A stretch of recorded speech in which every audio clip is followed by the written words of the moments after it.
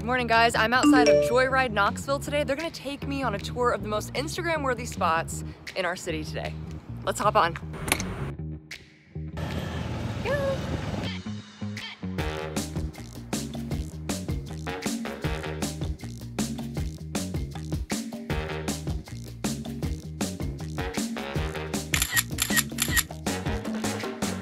I've been on it for maybe a minute total and it's already my favorite way to see the city.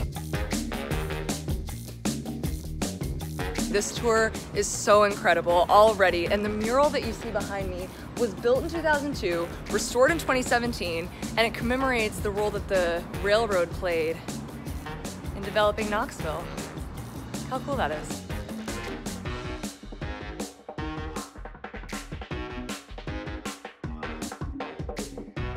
Our third stop is right in between the alleyway of Old City Java and Da Vinci's. And there isn't really a particular story for this alleyway, it's just people have come here and gotten creative on the walls.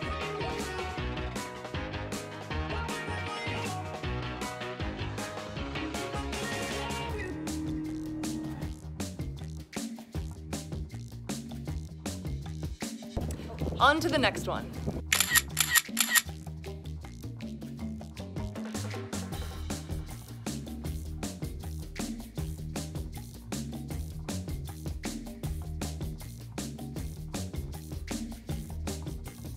So it's not just a flight of stairs though, there's a really cool story behind this particular mural. Yes, and it's actually called Stories, and it's designed to be a scavenger hunt. So there's about 50 different references kind of embedded into the staircase. There's actually brochures you can pick up around town to kind of make it like a scavenger hunt and find the things you should be looking for. And you can just pick that up at the Visitor Center, Visitor right? Center, Boyd's Jig and Reel has them, lots of places in the Old City have them for you. So many surprises on this mural tour, guys.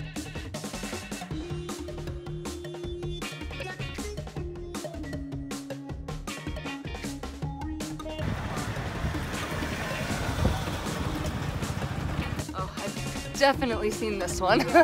It's like the one. yeah, it is the one.